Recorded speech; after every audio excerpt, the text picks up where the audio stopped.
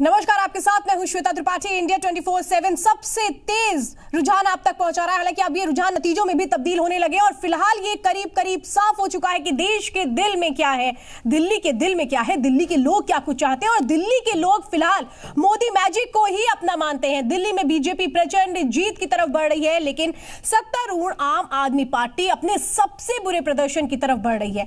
लग ऐसा रहा है कि दिल्ली में केजरीवाल का सुपड़ा साफ़ हो जाएगा।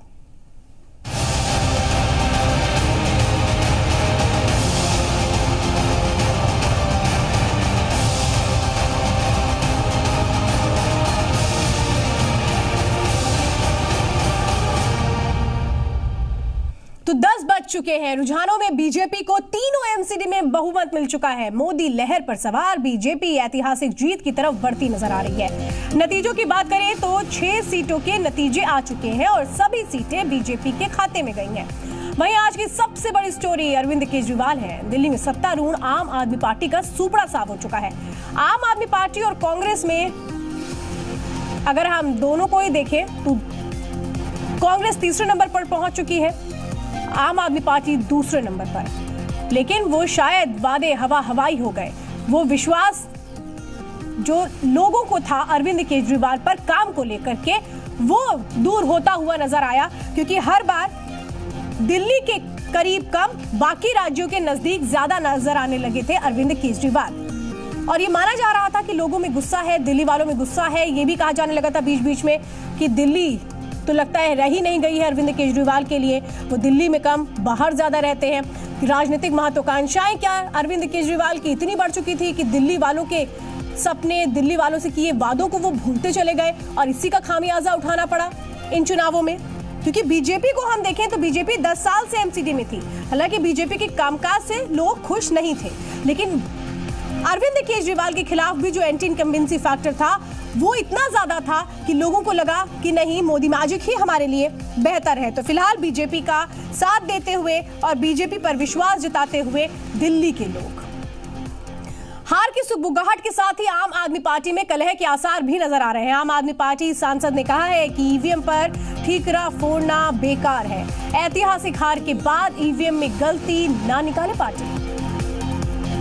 ऐसा होता रहा है और ये भी कहा जा रहा था कि इस बार अगर हारते हैं तो ईवीएम पर ठीकरा फोड़ा जाएगा, क्योंकि आपको बताएँ जिस दिन वोटिंग हो रही थी, उस दिन भी अरविंद केजरीवाल की ओर से कहा गया कि बहुत सारे ऐसे वोटर्स हैं जिनको स्लिप नहीं दी गई, बहुत सारे लोग अपने वोट कास्ट नहीं कर पाए। और उस दिन भी उन्होंने ईवीएम की गड़बड़ी को ही बताया था, ये भी कहा था अगर हारे तो हम धरना देंगे। इस तरीके की कहीं ना कहीं अरविंद केजरीवाल एक प्लानिंग करते हुए नज़र आ रहे थे। उनको शायद इस बात का आभास हो गया था कि दिल्ली वाले उनसे बेहद नाराज़ हैं। अलग अलग जुमले ज़रूर देते थे अरविंद केजरीवाल। जिस दिन काउंटिंग हुई थी, जिस दिन आपको बताएँ वोट कास्ट हो रहे थे उस दिन भी उनकी तरफ़ से जुमला ही दिया जा रहा था कि दिल्ली में चाहे चिकन गुनिया हो मलेरिया हो, डेंगू हो, इसको लेकर सरकार ने काम किया और इसको ध्यान में रखते हुए अपील वो कर रहे थे लोगों से। यानी अपने कामों को बता रहे थे आखिरी दिन। उसके पहले सीधा सीधा ठीकरा फोड़ा जा रहा था कि हम तो बहुत कुछ करना चाह रहे थे, लेकिन केंद्र सरकार ने हमें काम करने नहीं दिया। लेकिन आम आदमी पार्टी में भी जो चीज़ें देखने को मिल रही हैं, वो यही बता रही हैं कि पार्टी के अंदर अंतर कलह बहुत बढ़ चुकी है। और अब एमसीडी चुनावों के ये रुझान, जो नतीजों में तब्दील हो रहे हैं धीरे धीरे छह सीटों पर नतीजे आ चुके हैं, जिसमें बीजेपी ने ही जीत दर्ज की है। पाँच अहम बातें जो अब तक चीज़ें हमें देखने को मिल रही हैं। इसके हिसाब से अगर हम समझने की कोशिश करें तो चुनावी नतीजों की पाँच अहम बातें जिस पर आप भी गौर करिए।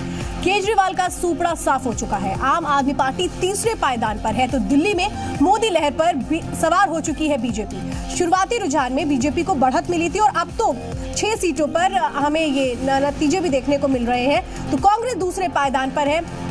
फ़िलहाल जो अब लेटेस्ट ट्रेंड आया है, उसके मुताबिक कांग्रेस तीसरे पायदान पर जा चुकी है, आम आदमी पार्टी दूसरे पायदान पर है। लेकिन एक बड़ा संदेश दिल्ली वालों ने दिया है, अरविंद केजरीवाल को, कि विश्वास अगर रखना है तो काम करके दिखाना होगा। सिर्फ़ बातों से ही काम नहीं चलेगा। अगर वादा खिलाफी की गई तो फिर हम जवाब देंगे, और वही काम किया गया है दिल्ली वालों की ओर से।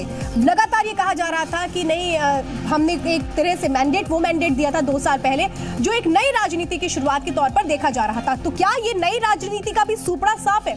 फ़िलहाल, शुरुआती रुझानों में आम आदमी पार्टी को बड़ा झटका लगा।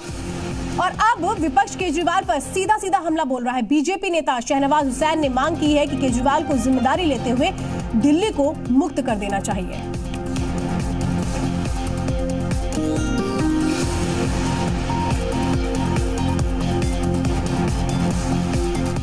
देखिए, ये चुनाव ज़रूर एमसीडी का है। लेकिन दिल्ली में पूरे देश के लोग रहते हैं। और दिल्ली के अंदर जिस तरह आम आदमी पार्टी ने अपनी एरोगेंसी का लेवल बढ़ाया था बात बात पर मोदी जी के खिलाफ बोलना, काम नहीं करना, सिर्फ़ आरोप लगाना, दिल्ली की जनता उनसे उब गई थी। आम आदमी पार्टी ने दिल्ली के लोगों को उम्मीद पर झाड़ू फेर दी, तब लोगों को लगने लगा कि सिर्फ़ और सिर्फ़ नरेंद्र मोदी जी की पार्टी भारतीय जनता पार्टी ही एक ऐसी पार्टी है जो अन्य राज्य का भला कर रही तो दिल्ली का भला भी वही कर सकती है। आम आदमी पार्टी के लिए ये चिंतन का वक्त है। उनको नैतिकता की बहुत दुहाई देने वाली आम आदमी पार्टी को अब अरविंद केजरीवाल जी को के अंदर जो परिणाम आए हैं पिछले दस साल से दिल्ली में एमसीडी के अंदर भारतीय जनता पार्टी सरकार चला रही थी और पूरा देश और पूरी दिल्ली जानती है इस बात को कि 10 साल में एमसीडी में भाजपा ने भ्रष्टाचार का डेंगू चिकनगुनिया और गंदगी का अड्डा बनाया। लेकिन उसके बाद जिस तरह से चमत्कारिक जीत भारतीय जनता पार्टी को मिली है, वो ईवीएम लहर से ही संभव है। ये मोदी लहर नहीं है जिसको भाजपा चिल्ला रही है। ये ईवीएम की लहर है, जो उत्तर प्रदेश में, उत्तराखंड में, पंजाब में जो लहर चली थी ईवीएम की, उस लहर को दोबारा भारतीय जनता पार्टी ने ईवीएम लहर को दोबारा यहाँ रिपीट किया है। ये आम आदमी पार्टी बहुत छोटी चीज़ है। आम आदमी पार्टी की जीत हार बहुत छोटी चीज़ है। लेकिन आज़ादी की लंबी लड़ाई के बाद जो इस देश को संविधान मिला, लोकतंत्र मिला, अगर लोकतंत्र ईवीएम से तय होने लगेगा तो शायद इस देश के अंदर हमारी पूरी आज़ादी की विरासत, संविधान के सारे पन्ने और लोकतंत्र के ऊपर ये खतरा खड़ा हो चुका है। आम आदमी पार्टी अपने सारे चीज़ों की समीक्षा करेगी, लेकिन इस देश के हर नागरिक को इस बात को सोचना है, ये जो ईवीएम लहर चलाई जा रही है, इससे इस देश को कैसे आज़ाद किया जाए, कैसे स्वतंत्रता संग्राम के जो विरासत है लोकतंत्र की, उसको कैसे बचाया जाए, संविधान में जो लोकतंत्र की मर्यादा है, उसको कैसे बचाया जाए, और खास तौर से एक नागरिक, एक मतदाता का जो अधिकार है, उसको कैसे बचाया जाए, ये इस देश को अब सोचना पड़ेगा। और आम आदमी पार्टी इन सारे पहलुओं पर परिणाम आने के बाद विचार करेगी और उसके बाद अपनी रणनीति एक सेकंड एक सेकंड एक सेकंड अलका लांबा का ये कहना है कि बहुत सारे भाजपा के नेता जो हैं वो आम आदमी पार्टी के विधायकों को रिझाने की कोशिश कर रहे हैं। उनको ये कह रहे हैं कि आप बीजेपी में आ जाइए। देखिए अगर उन्होंने ये भी बोला उनके पास एक ऑडियो रिकॉर्डिंग है। आप वो रिकॉर्डिंग रिलीज़ क्यों नहीं करते? समय आने पर सब रिलीज़ हो जाएगा। नहीं, आप करेंगे इसको समय जा- समय आने पर सब कुछ करेंगे। देखिए मेरा इतना केवल कहना है संक्षेप में।